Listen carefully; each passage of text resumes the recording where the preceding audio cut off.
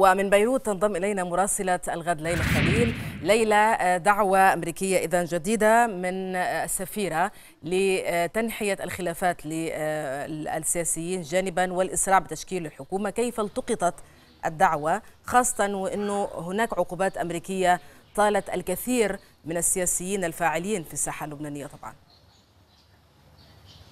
لعل أبرز ما قالته السفيرة الأمريكية ليس فقط الدعوة والإسراع بتشكيل الحكومة إنما الجملة التي قالت فيها أن ثمة البعض من القادة السياسيين الذين يضعون المطالب بوجه تشكيل الحكومة ودعتهم إلى التنازل عن هذه المطالب من أجل الإسراع في تشكيل الحكومة.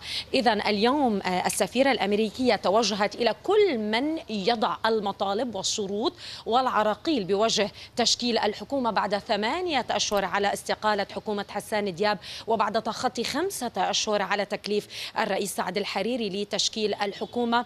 ونحن بظل عرقلات عدم وجود عدم وجود حكومة عدم أو فشل المساعي بتشكيل الحكومة. ولكن زيارة السفيرة الأمريكية إلى قصر بعبدة لا يمكن فصلها عن حركة السفراء اليوم في لبنان. م. السفير السعودي منذ يومين زار قصر بعبدة أيضا وليد البخاري وقال جملة مهمة جدا. يجب تغليب المصلحة الوطنية من أجل تشكيل حكومة فاعلة تقوم بإجراء الإصلاحات.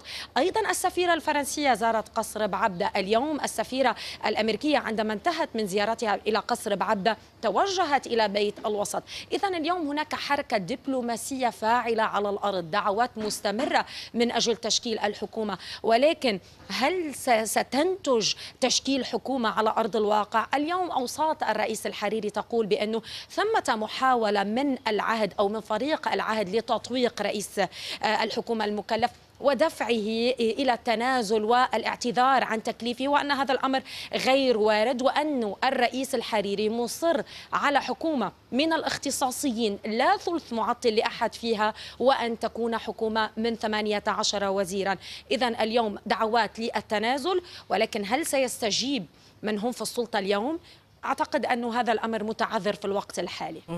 شكرا جزيلا سنبقى معك في ضوء كل التطورات من بيروت مراسلتنا ليلى خليل.